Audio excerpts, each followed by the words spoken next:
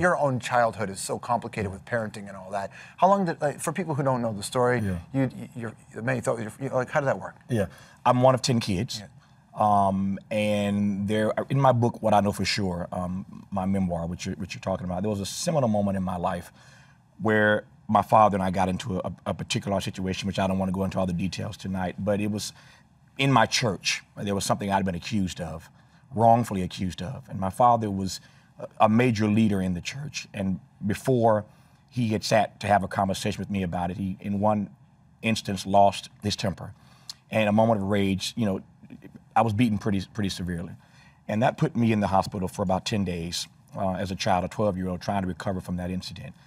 Um, and, and so that, that becomes the seminal moment. At, at, at 12 years of age, you're trying to figure out why it is I was accused of something that I didn't do, how it is that my parents didn't come to my rescue, and when they did show up, they didn't believe me, didn't even give me a chance to state my case. And I, there are a lot of lessons that come from that. One is that when things happen to kids so early in their life, they get scarred by that.